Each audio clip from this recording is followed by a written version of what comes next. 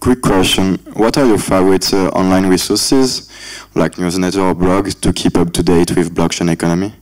My blog. Your blog. Something Uh, else? Uh, No, seriously, I, I blog uh, regularly.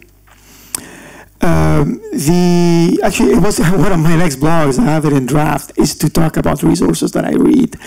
So now I'm going to publish it next week. Uh, if I remember quickly, um, you have to go. Uh, is one of them, obviously. That uh, uh, they cover everything to do with uh, with the blockchain.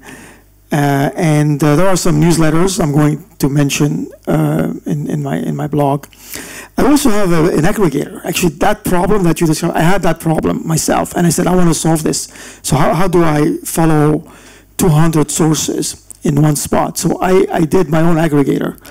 Uh, if you go to onblockchains.org, it has uh, 190 sources that I put together, and you'll get 250 stories per day if you want to follow everything.